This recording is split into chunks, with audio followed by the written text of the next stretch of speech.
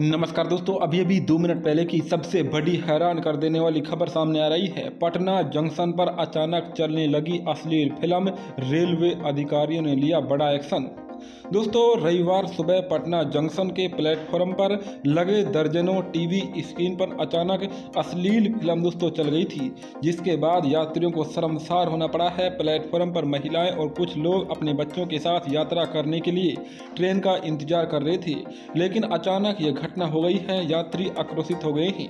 इसकी शिकायत की गई है। आरपीएफ ने तत्काल फ़ोन करके संबंधित एजेंसी को कहकर बंद करवाया। इस मामले में रेलवे अधिकारियों ने बड़ा एक्शन लिया है।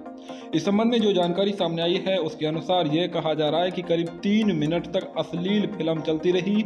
अगर शिकायत नहीं की जाती तो पता नहीं क्या होता। इस पूरे मामले में विज्ञापन एजेंसी पर आरपीएफ पोस्ट में एफआईआर दर्ज की गई है। डीआरएम प्रभात कुमार ने एजेंसी पर जुर्माना लगाया है। ब्लैक लिस्ट करने का भी निर्देश दिया है। इतना ही नहीं, बल्कि करार भी समाप्त करने का निर्देश दे दिया गया है। बता दें कि पटना जंक्शन के लगभग सभी प्लेटफॉर्म पर दर्जनों टीवी स्क्रीन लगे हैं ताकि ट्रेन की सूचना यात्रियों को दी जा सके।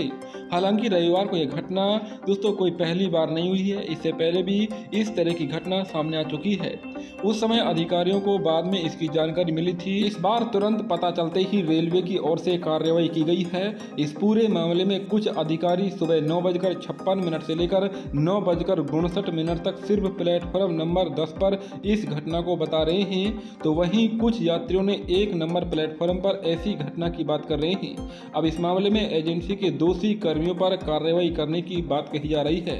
अब तक की सबसे बड़ी खबर दोस्तों इस वक्त आ रही है बिहार की राजधानी पटना से। जहाँ तीन मिनट तक अश्लील फ़िल्म चली है, उसके बाद यात्रियों में हड़कंप मच गया है। फ़िलहाल पुलिस मामले की जाँच कर रही है।